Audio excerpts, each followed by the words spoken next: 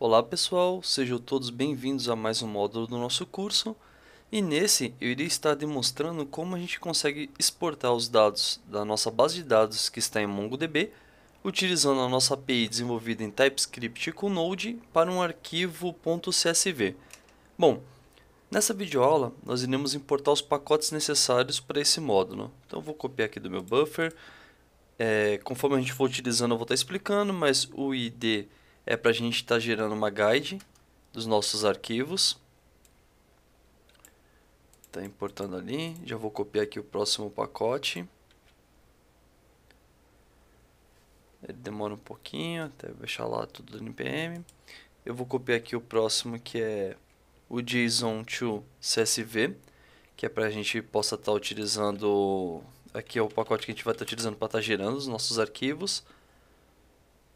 Então está importando ele aqui também, demora um pouquinho. Eu já vou deixar os outros dois próximos em uma linha só para ficar mais fácil, que seriam os arroba types desses dois pacotes aí que a gente acabou de baixar. Então, como vocês podem ver, o JSON to CSV e o type aqui do UUID. Então, ele vai baixar aqui. E beleza, são os pacotes aí necessários para que a gente possa estar... Tá exportando o nosso arquivo e que nós iremos utilizar neste módulo.